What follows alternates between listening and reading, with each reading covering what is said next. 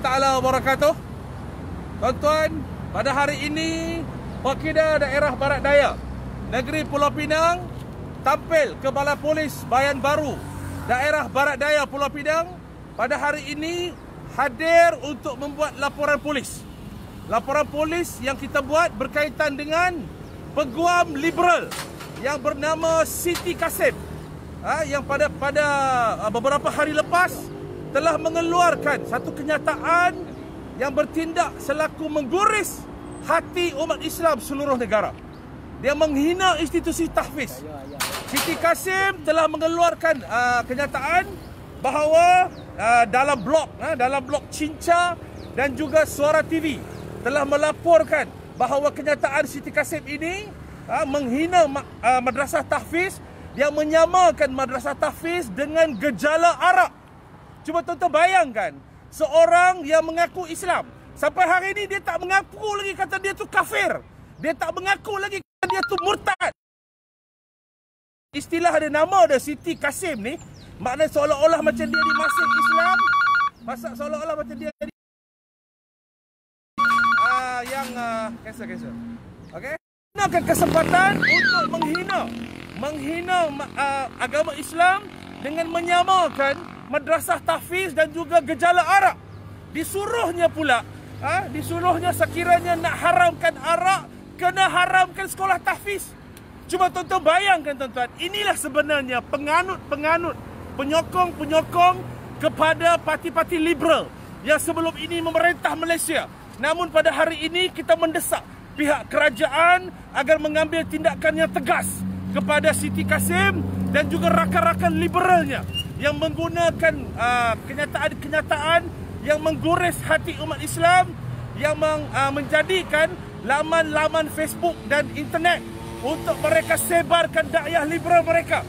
Cuba tuan-tuan bayangkan tuan-tuan, Malaysia merupakan agama negara yang mempunyai uh, masyarakat muslim yang paling ramai dalam perlembagaan termaktub bahawa artikel 3 Islam agama persekutuan tetapi mereka ini tuan-tuan tidak berpuas hati kerana Islam itu di Malaysia diletakkan tempat yang paling tinggi.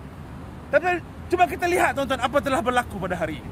Maka pada hari ini Pekida daerah Barat Daya hadir untuk membuat laporan polis ha? dan kita minta pihak PDRM menyiasat Siti Kasim ini agar didakwa di bawah Seksyen 504 kanun kesiksaan kerana menyebabkan ketidaktenteraman di kalangan rakyat dan juga akta Seksyen 233 akta SKMM kerana menyalahgunakan tuan-tuan menyalahgunakan uh, apa yang yang kita katakan sebagai internet ataupun media sosial ini untuk menyebarkan kenyataan-kenyataan yang bersifat sebagai hasutan sebagai kenyataan-kenyataan yang boleh memecahkan perpaduan umat.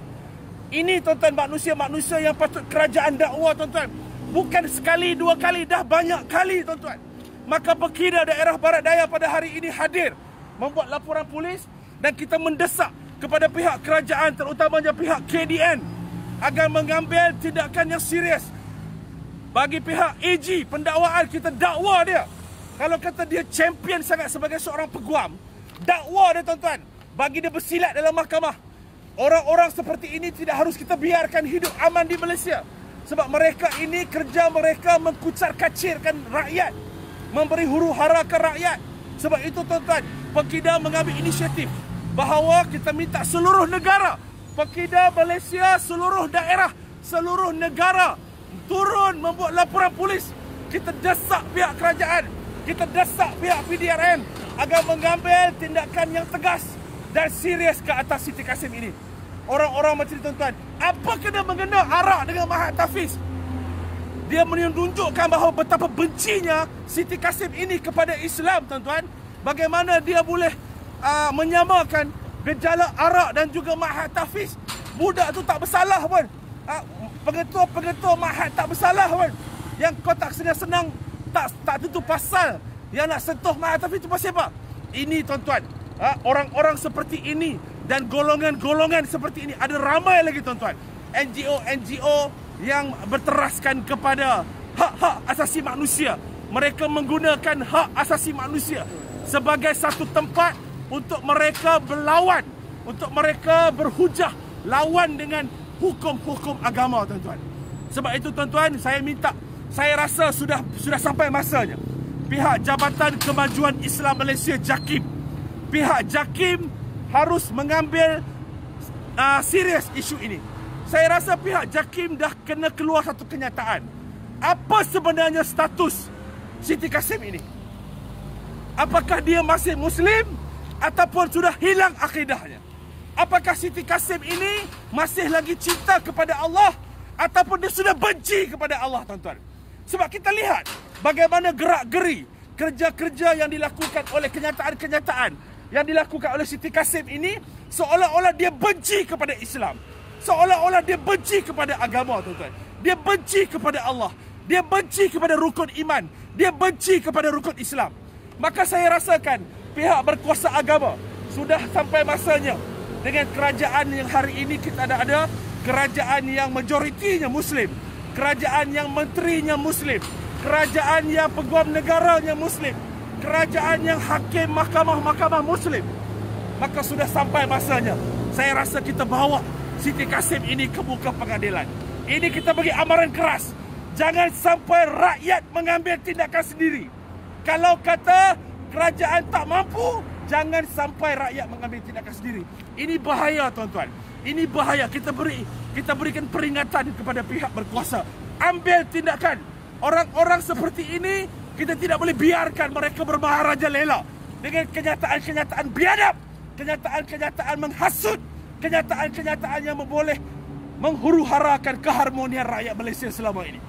Jadi saya minta setakat itu kami daripada pihak Pekedah Daerah Barat Daya uh, mengucapkan terima kasih kepada semua rakan-rakan ahli jemaah dan juga rakan-rakan kita minta tolong share video ni. Tolong share. Kita maklumkan kepada semua ahli jemaah. Tolong maklumkan kepada individu, NGO, NGI agar turun membuat laporan polis. Sebanyak mungkin kita desak agar mereka-mereka yang membuat onar selama ini diambil tindakan. Ha? Jadi terima kasih. Ha? Saya serahkan kepada Ayah Syed. Rakan-rakan, okey?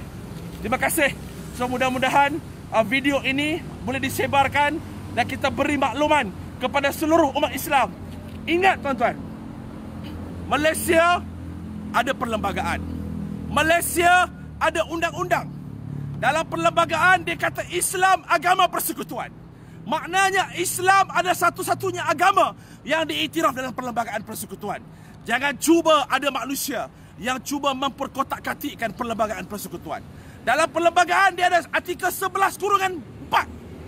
11 kurungan 4. Maknanya kerajaan boleh membendung, menghalang mana-mana doktrin yang cuba mendakwah umat Islam masuk ke agama lain. Makanya kita sebagai pejuang, pejuang ahli perjuangan, kita minta fahamkan perlembagaan. Itu kekuatan kita tuan-tuan. Kalau kita mereka bermain dengan perlembagaan, mereka bermain dengan undang-undang, kita bermain dengan undang-undang. Maka dengan ini kita mendesak pihak PDRM ambil tindakan se sekeras-kerasnya. Kita beri amaran pihak SKMM bendung media sosial. Jangan dibiarkan mereka ini akaun-akaun yang mereka gunakan fake account tutup. Ini sebenarnya tuan-tuan tempat atau platform yang mereka gunakan untuk menghuru-harakan negara kita. Sekian. Assalamualaikum warahmatullahi taala wabarakatuh.